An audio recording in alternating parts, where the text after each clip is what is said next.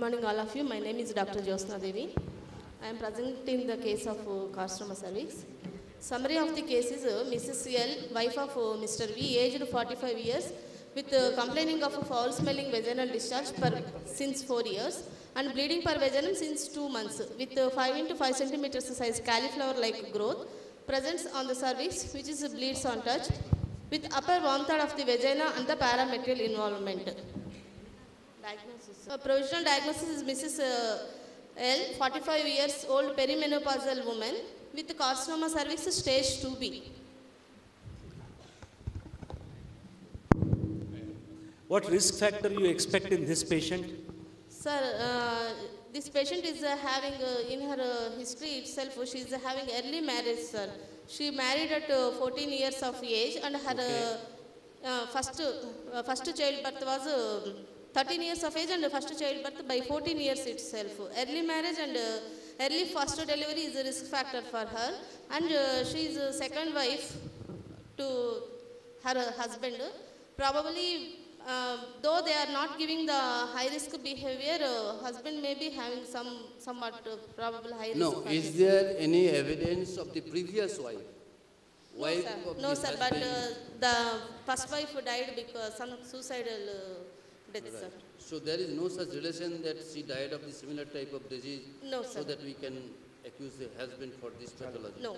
Was she using oral contraceptive pills? Uh, not, not used any contraceptive. Pills. Is there any relationship using oral Yes, sir. contraceptive Yes, pills for 5 years, 10 years? Eight years Can it increase some risk of CA cervix? Yes, sir. What is that? Adenocarcinoma, adenocarcinoma of the cervix will be. endocervical carcinoma. Is there any relationship of barrier contraceptive and cancer carcinoma of the cervix? It is having some Had she- decreases, sir. HB, STD will be decreased and human papilloma virus uh, infection. Okay, good enough. In STD, the cytomegalovirus virus infection and chlamydia trachomatis, do they have some impact on incidence of uh, cervical cancer? Yes, sir. Where, where are they seen with CA cervix? Are they seen with CIN? Chlamydia trachomatis and Since uh, CIN. Zika. They are seen with CA cervix. With CIN, candidiasis and trichomoniasis. These are the two things they are seen with CIN. Right? While earlier two they are seen with invasive cervical malignancy. Any f- deficiency of diet, can it predispose cervical lesions? Say vitamin A deficiency, vitamin D deficiency. Vitamin A deficiency, sir. Has she, has she undergone any such sort of screening procedure?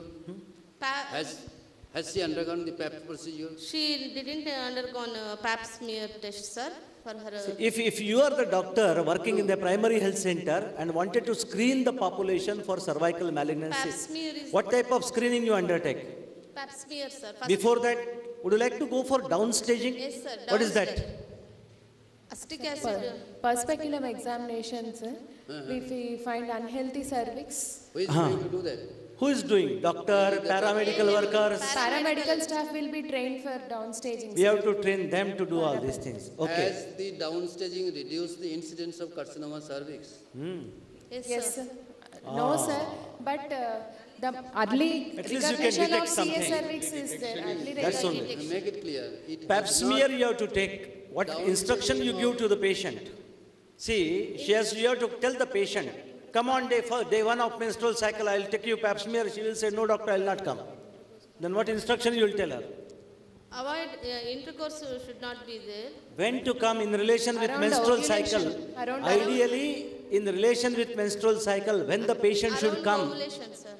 Around ovulation that means middle of the cycle after mid of the cycle okay any other instruction what type of pap smear is what type of cervical biopsy it is what type of cytology it is cervical exfoliative cytology sir exfoliative cytology right or abrasion cyto more precise it is abrasion exfoliative అంటే exfoliation అయినాక posterior ఫోరింగ్స్లో అక్కడనే ఉంటుంది అది.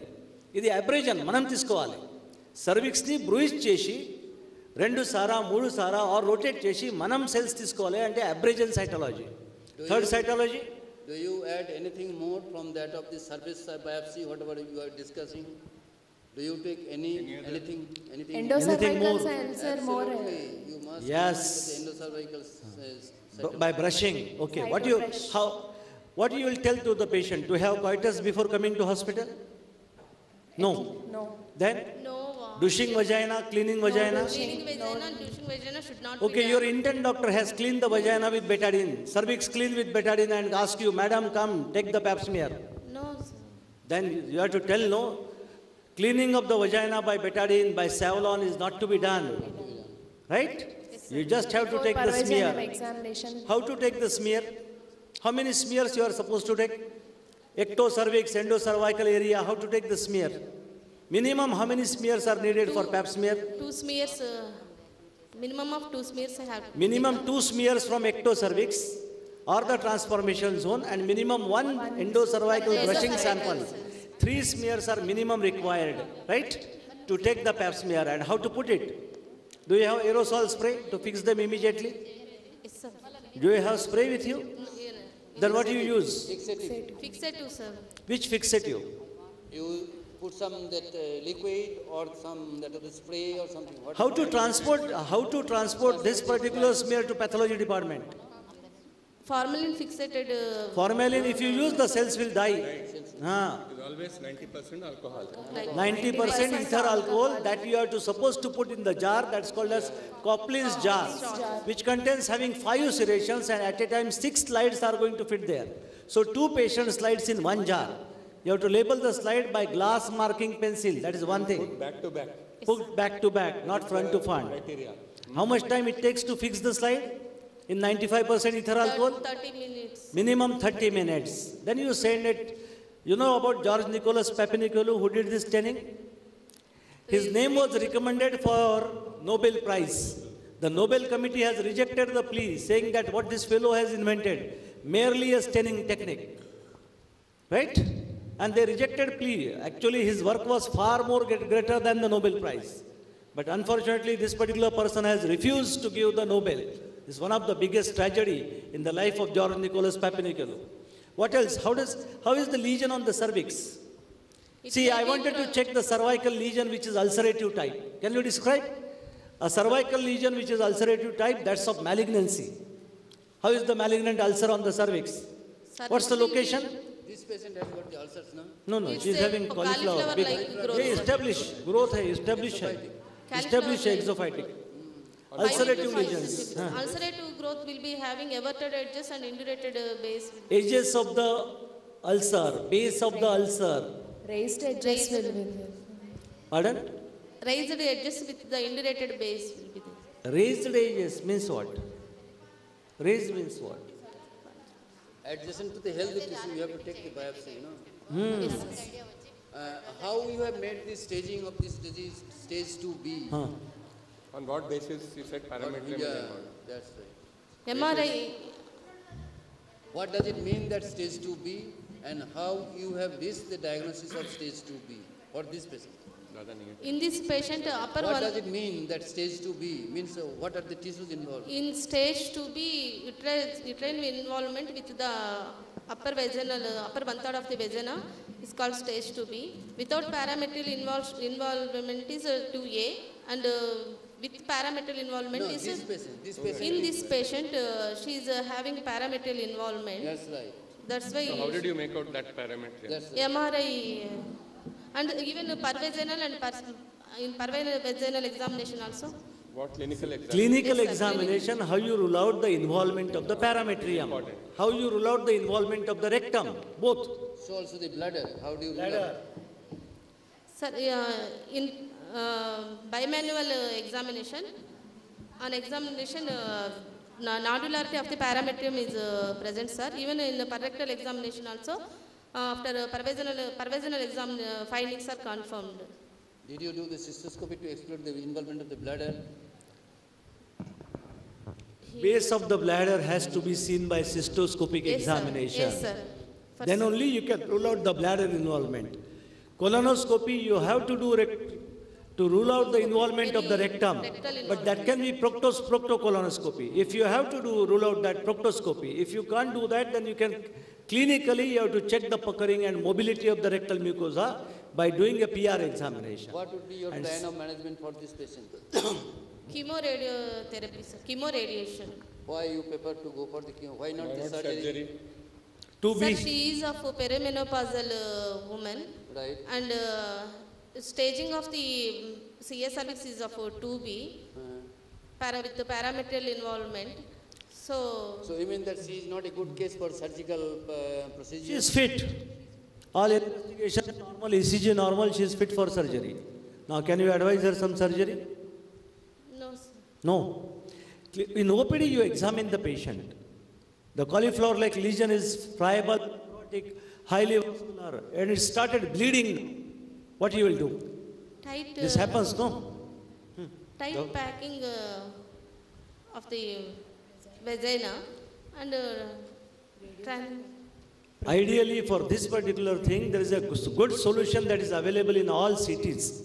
That is called as ferric subsulfate solution or Monsel solution. This was invented by Dr. Leon Monsel. The pack which is soaked in Monsel solution or ferric subsulfate solution has to be put in vagina reasonably tightly because the tissue is friable. If you try to put it more forcibly, the friable tissue will again bleed. So try to compress it, leave it for 24 hours minimum and the bleeding will stop completely. That's one way. Other way of stopping the bleeding? Can you use some help of radiology department to stop the bleeding? If it is not helpful with that of the Monsel solution, solution. you have to go, to go for the next step to control the bleeding. Radiosonologist train on Yeah, radiation therapy. Radiation. Radiation therapy to stop the Why, bleeding. why you have considered for this patient chemo radiation rather than radiation alone? Because radiation is also Che- quite good. chemoradiation, uh, cisplatin is a radiosensitizer, sir. Sorry, Cisplatin, Uh-huh. which is used in, uh, why, why? it's Radiosensitizer. a radiosensitizer, sir. That's right.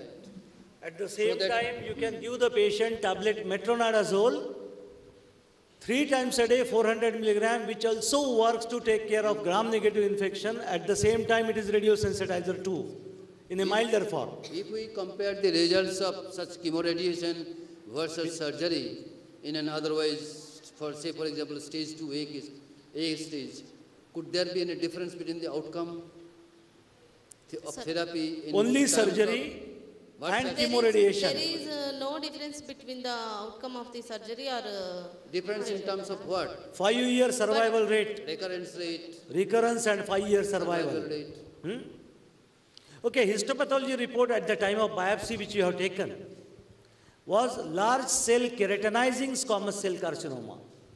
Does this give you some hint of prognosis of the patient? You know, histologically there are different types. Small cell Yeah. non-keratinizing and large cell keratinizing. These two things will. less Louder please, use Small mic. cell is having bad prognosis compared Sure, to large cell. sure. And keratinizing variety is also having a better prognosis. Adenocarcinoma versus squamous cell carcinoma. Could keratinizing will give you good prognosis rather than non-keratinizing. Is a differentiated tumor.